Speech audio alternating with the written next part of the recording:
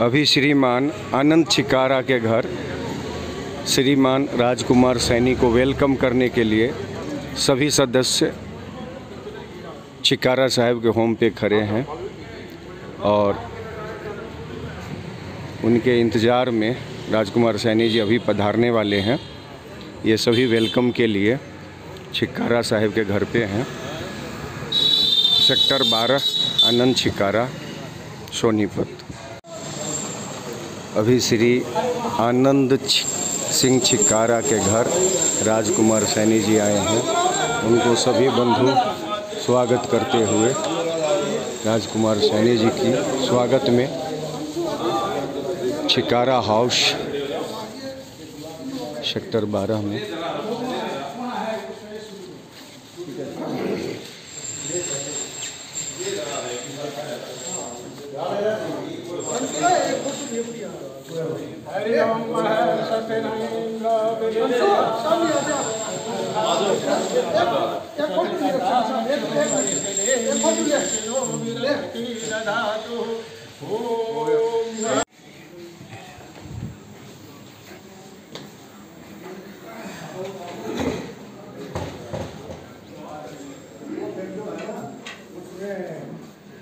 रखे हुए उस दुकान में चार आगे। आगे छिकारा साहब के साथ राजकुमार सैनी जी उपस्थित हो रहे हैं।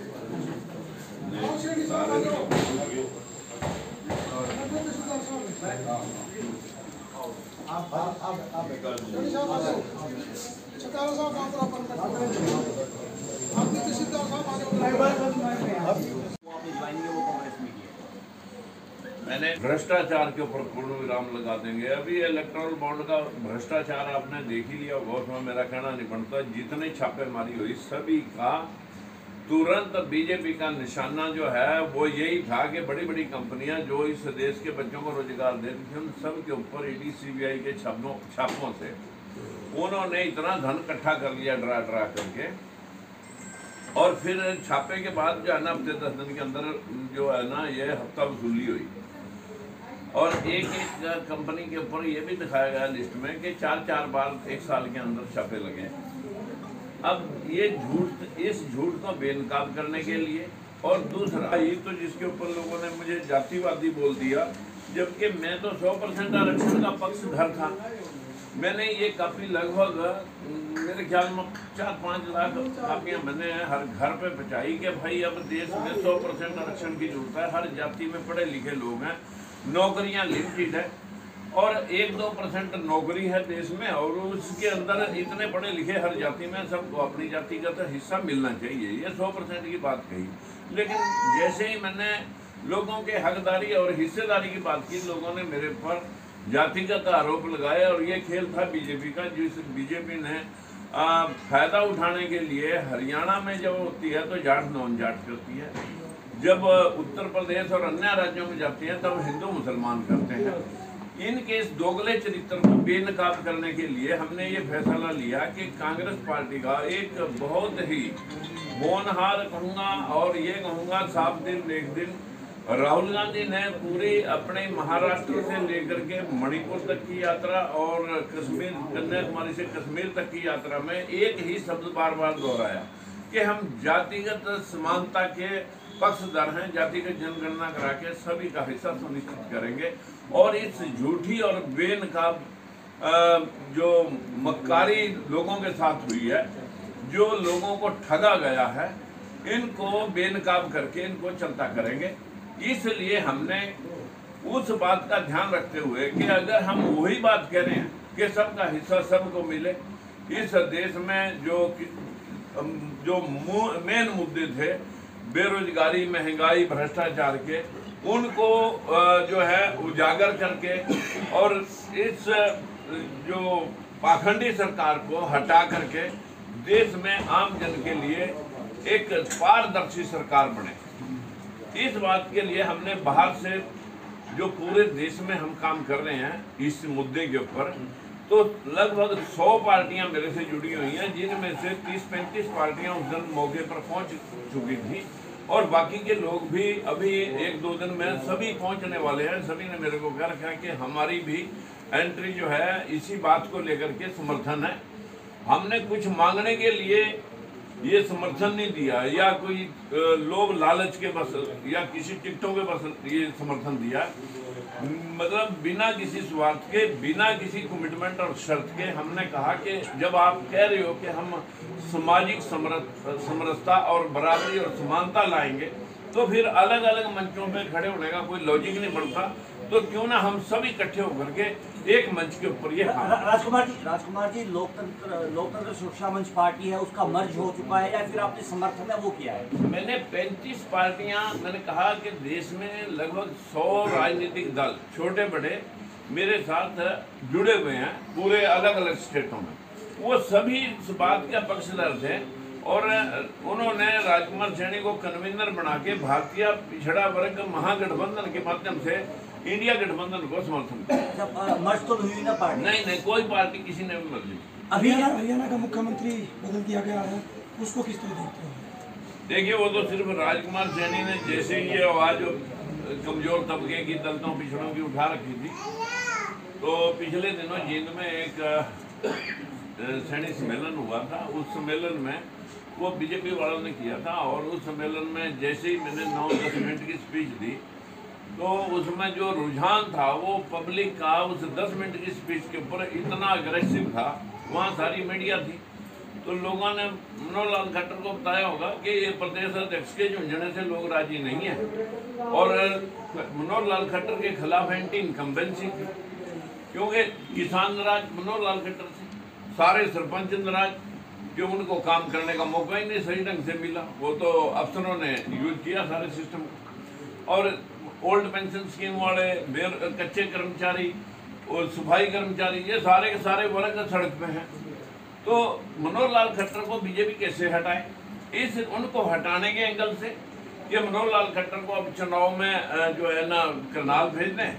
और यहाँ राजकुमार सैनी का इलाज करने के लिए जो है ना ओबीसी के साथ जुड़ा हुआ है। कहीं जैसे ही सोनीपत से खबर मीडिया में चलाई किसी ने कि राजकुमार सैनी कांग्रेस के माध्यम से जो है यहाँ सोनीपत में चुनाव लड़ेगा। इतने में बीजेपी के पसीने छूट गए। और उन्होंने आनंद फानंद में रात को इंडोर मीटिंग की दुष्यंत चौटाला के साथ कि भाई आप का मुद्दा है विधानसभा। आप विधानसभा में हमारे साथ हो लेना दोबारा, हम आपको ले लेंगे। लेकिन अभी आपका लोकसभा मुद्दा नहीं। और आप बस नज़दीक से जो है ना, ये बोल जाके जनता में कि बीजेपी ने मेरे साथ धोखा किया है, ताकि आपको सहमति और हमदर्दी मिले और के वोट कटे। और दूसरा नंबर, मनोहर लाल खट्टर को हटा करके वहाँ भेजें तो इससे एंटी इनकम्बेंसी खत्म हो।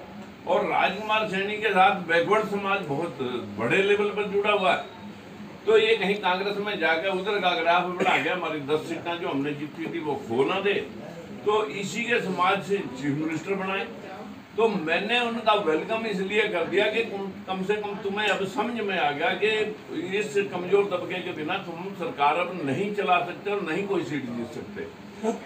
और और और एक आखिरी पैतरा उनका ये था उसी दिन इलेक्ट्रल बॉन्ड पर वो आया था फैसला। सुप्रीम कोर्ट का। सुप्रीम कोर्ट का। उस फैसले को कहीं जनता की नज़रों में वो फैसला न पड़े तो हरियाणा में बड़ा राजनीतिक फेर बदल, बड़ा राजनीतिक फेर बदल, वो खबर, उस खबर के नीचे घुस होगी और एक तीर में पाँच इंसान ने साथ वोटर डिवीज़न जाटों का, राजकुमार सैनी के माध्यम से, वो, ये ओबीसी को नायब सैनी जी को चीफ मिनिस्टर बना करके ओबीसी वोट बैंक को साधना। राजकुमार सैनी को रोकना और तीसरा मनोहर लाल खट्टर की एंटी इनकम्बेंसी से बचना और इलेक्ट्रल बॉन्ड के सिस्टम से बचना। तो ये सारा खेल था। राजकुमार सैनी कहाँ से चुनाव लड़ने की कवायद है? वो शुरू करने जा रहे हैं। क्या सोनीपत से चुनाव लड़ सकते हो आप? देखिए मैं बिना मैं विरोधाभास में कभी चुनाव ना लड़ा पहले। मैं कभी किसी के पास आज तक टिकट मांगने नहीं गया मेरा अपना एक ये है कि अगर समन्वय हो तो लड़ो। नहीं तो कंट्रोवर्शियल मैं कभी इसलिए नहीं लड़ा कि लोगों में हो गई वो बात। मैंने जो बात आज तक ज़िंदगी में कही, ये मेरा पैटर्न हमेशा से यही रहा है और इसको मैं कभी बदला नहीं कि भाई, आज लगभग दो लाख नौकरियाँ एससीपीसी के जो कमज़ोर वर्ग की खाली पड़ी है। लेकिन वो किसी सरकार ने लगाई नहीं। लगा दो अब तुम्हारे पास। पावर है तुम लगानी चाहिए नैब सिंह सैनी कहाँ से चुनाव लड़ने के है? सोनीपत कुरुक्षेत्र वो तो अभी तो उसको यहाँ से करनाल से लड़वाएँगे मनोहर लाल खट्टर ने इस्तीफा दे दिया। अच्छा आप कहाँ से लड़ने के इच्छुक हैं? मैं तो देखिए अब इस गठबंधन में मैं जो है ना नेशनल लेवल पे काम करता हूँ और आज भी मैं अपने गठबंधन के लिए काम कर रहा हूँ।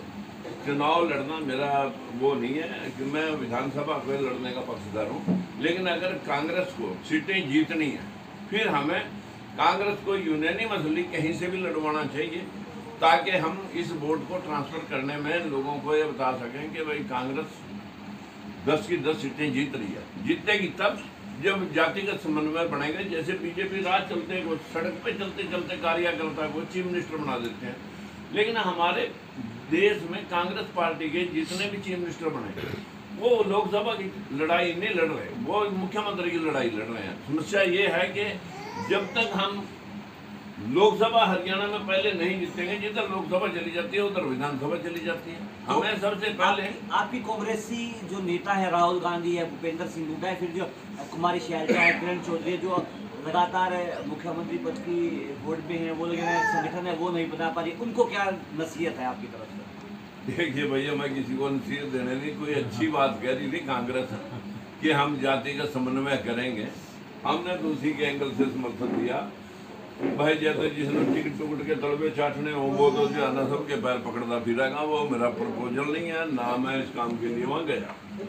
बाकी रही बात यह अगर इनको दस सीट जीतनी है तो मैं इतना मेरा है कि भाई तुम अगर आ, मतलब पचास परसेंट वोटा सारे पोओगे तो मैं पचास परसेंट कल्ला पोआ सकता हूँ इतना मैं दम रखता हूँ। मैं ज़्यादा ब्लफ मारने की बात नहीं। ठीक है हाँ जी।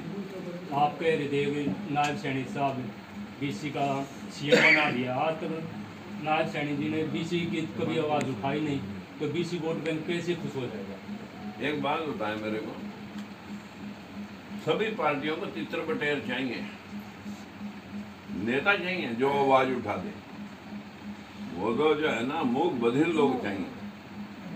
पार्टी को किसी को लीडर नहीं कोई चाहिए। हाँ आवाज़ उठाएगा वो चीफ मिनिस्टर बना दे, उससे सीनियर रहा रहो, इंद्रजीत बैठा। उससे सीनियर जो है किशन पाल, कंवर पाल, अनिल विज कितने लोग हो तो ऐसा है, अपना, ये तो नीतीश कुमार ने अपना दूसरा मांझी बनाया, और उधर चन्नी बनाया था पहले, ऐसे तो चलता है, लेकिन हम इतना बता दें कि बीजेपी को ये समझ में आ गया कि भाई ओबीसी को, वोट को कैसे साधना, और सबसे बड़ा ओबीसी में धड़ा अगर वोट बैंक का, वो सैनी समाज है, और सैनी समाज में उसी के चीफ मिनिस्टर सामने खड़ा करके इसका इलाज कैसे करना है? बस मेन बात ये थी। लेकिन हमें उसमें भी बधाई है कि कम से कम तुम्हारे को ये अकल तो आ गई